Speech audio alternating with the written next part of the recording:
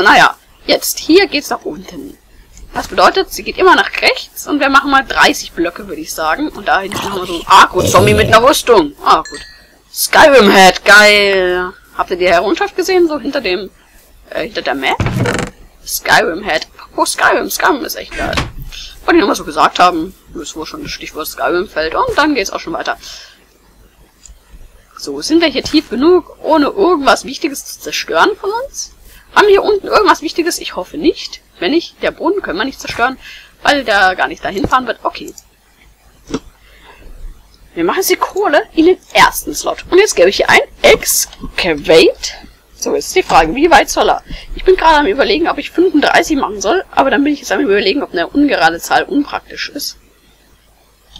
Machen wir mal, oh ja genau, 34 würde ich sagen, oder? Excavate 34 würde bedeuten, äh, das ist auf jeden Fall auch mein Grundstück. Mein Grundstück ist nämlich 42 Blöcke breit, groß. Und dann haben wir hier noch ein bisschen, und das ist gerade, was immer gut ist. Dann machen wir los. So, jetzt seht ihr auch schon den Vorteil der Turtle. Gut, und das, Ganze, das Ganze hier nochmal ein bisschen tiefer. Wir geben hier Kohle rein und sie baut uns hier automatisch eine äh, Teil hier. Ihr wisst schon, was ich meine. Äh, und äh, sammelt uns die Ressourcen ein und äh, naja, die, das baut jetzt einfach so runter. Und jetzt suche ich mal was. Und zwar suche ich jetzt einen Trichter. Ups, aber Trichter heißt er ja eh nicht. Wie heißt denn das Teil auf Englisch? Verdammt, bei dem weiß ich es nicht. Ich kenne nur als Trichter. Muss ich jetzt suchen oder was? Das ist hier Trichter. Trichter ist doch leicht. Fällt mir denn der Scheiß nicht ein? Ich gucke mal durch, während ich überlege. Trichter, Trichter. Hopper, natürlich, Hopper. Äh, klicke ich jetzt gleich drauf, mein Lieber, hier. Eine Chest und Iron drumrum. Okay, eine Chest schon wieder. Irgendeine leere Chest? Nö, jetzt haben wir keine leere Chest mehr. Okay, dann baue ich jetzt eine volle Chest mit ein bisschen Holz. Und halt mal mehrere. So, ich mache einfach mal ein bisschen mehr Holzplanken. So, wir brauchen insgesamt zwei Hopper, glaube ich. Aber wir brauchen sowieso noch ein paar Chests. Wir brauchen sogar noch mehr. Warten mal. Wir brauchen noch mal zwei Holz. Für noch mehr Chests. Ja, ja. Wir chesten hier alles voll, du. Oder war es jetzt zu viel? Ne, das passt, glaube ich, perfekt. Jetzt gleich gucken wir auch nochmal nach der Turtle, ob die gut arbeitet. Irgendwann müssen wir auch Kohle nachfüllen und so. Iron. So, wie war das jetzt? So, da die Kiste rein und dann irgendwie so. Genau. Damit bauen wir zwei Hopper und haben noch zwei Chests übrig. So war es geplant. So, jetzt haben wir die Turtle da hingesetzt. Das bedeutet, sie fährt genau hier hin.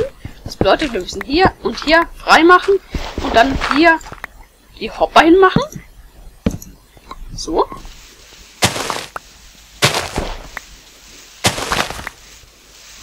Huch, jetzt springt der hier schon wieder so dumm rum, obwohl ich nichts drück. Ja, komm, jetzt müssen wir es relativ tief bauen. Und hier ist auch nur so ein provisorischer Eingang. Das werden wir später wohl noch ein bisschen verbessern. Ups. So, hier. Ich bin da immer gewohnt, dass auf der zweite Bogen ist. Huch, da wird sich die Turtle auch noch später reinbuddeln, beziehungsweise sie kann dann auch schweben da drin. Und ich glaube, wir hören schon die Turtle. So, wir müssen gucken, dass hier auch nichts zerstört, vor allem in den unteren Schichten. Müssen wir gucken, hier dürfte aber eigentlich nichts kaputt gehen. Hupala, wäre ich hier fast runtergefallen. Hier dürfte sich irgendwann mal lang buddeln.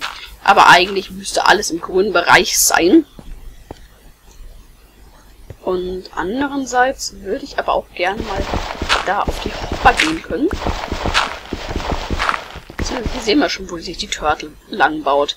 Da sehen wir schon, hinten fährt die Turtle lang. Also wir sehen, sie kann auch schweben. Und ich bin einfach total begeistert von dieser geilen Turtle. Ist einfach so cool. Wir buddeln uns hier mal ein bisschen lang. Da muss ich ja später nicht mehr graben. Das macht ja nichts. Die fliegt da, wie gesagt, einfach drüber. Ich komme hier aber nicht rüber. Ja, praktisch. So, hier müsst, müsste die, ähm, wenn die voll ist, das Inventar von der, fährt die hier zurück. Und jetzt mal ganz kurz hier, für die, die sich damit nicht auskennen, mal zu erklären, werde ich genau hierhin zurück, wo ich sie losgeschickt habe. Und da hakt die Tastatur schon wieder. Oder Minecraft besser gesagt. Schmeißt sie alle Items raus. So, man kann auch Programme machen, dass es irgendwie eine Kiste macht, aber so weit bin ich noch nicht. Schmeißt sie alle Items raus. Diese werden von den Hoppern eingesammelt. Warum haken das immer so? Und dann durch die Hopper hier in die Truhe transportiert. Hier rein. Und dann sehen wir, ist noch keine Ladung da, also äh, sind noch nicht so weit, dass das Inventar wieder voll ist. Wir könnten das theoretisch auch anschauen, wenn hier mal da wäre. Da kommt es ja schon. Ups. Hier sehen wir das Inventar der Turtle, das heißt, ihr habt schon ein bisschen Eisen abgebaut, eine Fackel irgendwo von der Höhle wahrscheinlich, Erde und natürlich Kobbel. So, voll ist sie noch lange nicht. Ich glaube, die hat so ein großes Inventar wie eine Einerkiste oder so. Naja, irgendwann ist sie auf jeden Fall voll, dann kommt sie zurück. Und wenn sie Kohle braucht, geht sie auch hierhin zurück und ähm, will, dass wir Kohle einfüllen, äh, einfüllen. Jetzt aber das Problem, wenn wir den Chunk verlassen, äh, bleibt die einfach stehen. Und das ist irgendwie nicht so praktisch und deswegen kann es sein, dass sie eben manchmal stehen bleibt. Da kann man sich, glaube ich, einen Chunk-Loader machen, aber ich weiß nicht genau, wie das geht. Damit habe ich mich noch nicht so auseinandergesetzt und das heißt, wir müssen öfters mal nach der gucken, dass die, wenn wir weiter wechseln, dass die nicht stehen geblieben ist. Und ja, müssen die dann gegebenenfalls abbauen, was glaube ich ganz normal geht. Beziehungsweise doch, das müsste eigentlich gehen. Hoffe ich mal. Da gucke ich nochmal. Wahrscheinlich das Tessie dann vorher nochmal. Wenn nicht, müssen wir den irgendwie zurückfahren lassen, aber das dürfte ich auch hinkriegen. Im Notfall, aber das ist eigentlich so das Ding, was ich haben will. Weil die auch einen anderen Ruhe. Naja, ich gucke erstmal, ob dann im, im extra Game, ob man die einfach abbauen kann mit der Spitzhacke oder ob ich da, ob die kaputt mache, zum Beispiel den Computer kaputt mache oder die Spitzhacke kaputt mache. Das wäre das allerbeste. Ja, aber ich glaube, es kommt sogar die Mining Turtle raus, wenn mich. Ja doch, ich glaube, es kommt sie raus. Aber wenn nicht, wie gesagt, nicht verzagen, Pilzschar fragen und äh, ja. Ich baue uns hier mal so einen kleinen Gang, so dass wir hier. Ich bin einfach so ein. Ne? Ich glaube, ihr merkt schon, dass ich ein bisschen. Ach, diese Turtle, diese Schildkröten, die nehmen einem alle Arbeit ab und jetzt können wir hier. Die buddeln uns jetzt hier einen schönen Keller. Wir haben hier einen Wohnbaum, von dem wir aus dann später auch direkt in den Keller gehen könnten. Wenn wir dann noch so runterbauen. Ach Gott. Das wird so cool. Komm her, Zombie. Ach, da ist der Zombie. Immer diese Afro-Zombies, die nerven. Turtles sollte ich... Es gibt auch Turtles mit so ähm, Schwertern. Aber die sind ein bisschen irgendwie... Keine Ahnung. Ah, hier, hier sehen wir schon, hier war jetzt gerade die Turtle. Das bedeutet, die wird hier auf der Ebene alles abba abbauen. Was bedeutet, hier, das hier kommt auch noch weg. Was bedeutet, wir haben diese eins zwei. Das bleibt, glaube ich, gerade noch stehen. Ja, ja, das muss doch stehen bleiben. Also wir haben hier so ein paar Schichten, das bedeutet, hier oben bleibt alles unberührt. Aber alles ein bisschen tiefer äh, wird dann abgebaut. Also da unten, ja, da hat sie schon abgebaut. Naja, ich bin, ach Gott, diese Turtles, die sind einfach so toll. Turtle, Turtle, Turtle. Naja. Auf jeden Fall können wir uns damit hier automatisch, also ohne, aber jetzt muss man nicht mehr so viel in die Höhlentouren gehen, weil die Turtle eigentlich alles für uns macht. Und dann muss alles hier unten ankommen. Ups, in der Kiste natürlich. Und dann müssen wir nur irgendwann mal wieder die Kiste entleeren, wenn sie voll ist. Was ja eigentlich relativ schnell sein dürfte. Zwar nach zweimal Turtle-Ladung, wenn die tatsächlich das Inventar einer einzigen Kiste hat. So, eigentlich warte ich jetzt hier auf meinen Baum, der irgendwann mal wachsen sollte. Den muss ich dann aushöhlen und dann kann ich da... Was ist das da oben? Ist das eine Wolke? Ich bin mir da jetzt gerade nicht sicher. Sollen wir mal ausnahmsweise hochfliegen? Das ist Komm, wir fliegen mal ganz ausnahmsweise hoch. Wir cheaten ja nichts. Oh. Halt nicht.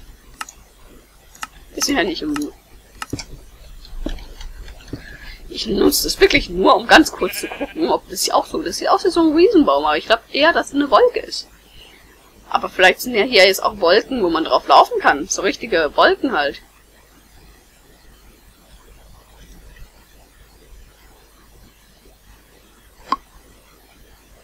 Ist es eine richtige massive Wolke?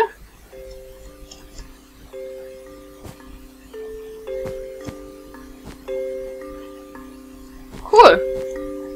Eine halbmassive Wolke. Was ist denn das für ein geiles Ding?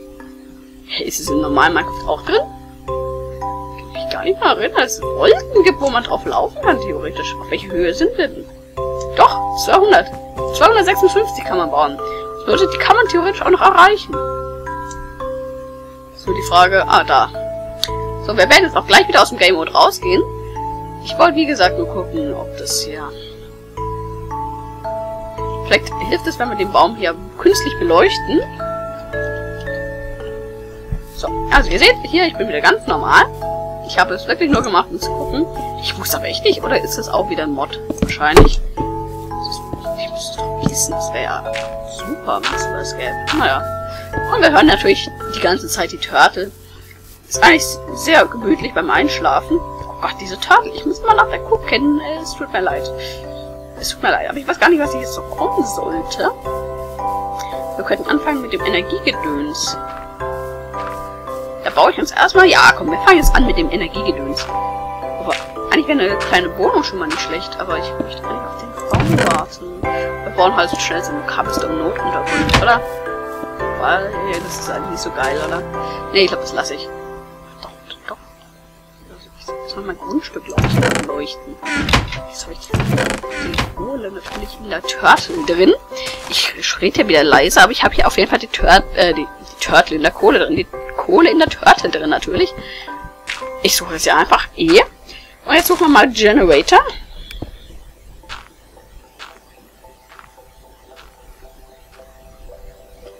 Hallo? Eigentlich hätte ich lieber so einen anderen, so einen richtigen Generator. Nicht sowas. Hier. So ein Energiegenerator. Und hier, was ist denn das? Warum, was hat denn das? Ach, weil die alle EU produzieren Generator. Ich verstehe schon. Was haben wir hier? Locket Chest. Da. Generator, Geothermal Generator. Ich nehme natürlich hier den normalen Generator. Und da sehen wir schon, oh Gott, wir brauchen einen Ofen. Wir brauchen einen Machine Block. Wir brauchen eine RE-Batterie. So, wir brauchen einen Iron Furnace.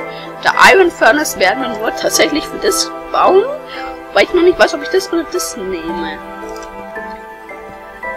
Also, ich glaube, ich baue das andere.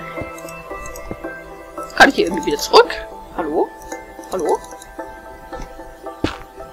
Hoppala, das war es nicht zu schnell. Äh, ich glaube, ich baue das da. Machine Block brauche ich Refined Iron. Okay, Refined Iron machen wir, indem wir hier tatsächlich, das war für den, für den normalen Minecraft-Spieler erstmal etwas komisch kommen, aber wir müssen natürlich Eisen Ingots in den Ofen machen. Ja, ich weiß, es sind keine Eisen Ingots, aber wir brauchen auf jeden Fall mehr Eisen Ingots. Und wir sehen schon, das reicht. Oh, oh, oh, ist ja die Hölle los. Ach, die Turtley. Hallo? Turtley? Turtley, rede mit mir. Oh Gott. Oh Gott, ich muss mich hier echt ein bisschen zusammenreißen. Es ist schon wieder... Nee, eigentlich ist es nicht spät. Naja, gut. Eisen. Haben wir irgendwo noch Iron Ingots? Iron, Iron, Iron, Tin? Hier? Ah, wir haben noch so Iron. Das hau ich auch mal rein, damit wir hier erstmal... Ah, halt mal, halt mal, halt mal, halt mal. Bloß nicht, bloß nicht, bloß nicht. Es tut mir leid. Mehr Eisen werden wir uns nicht machen.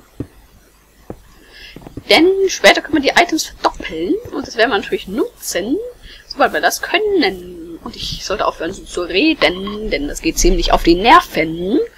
Und äh, ja, auch ein bisschen auf die, keine Ahnung.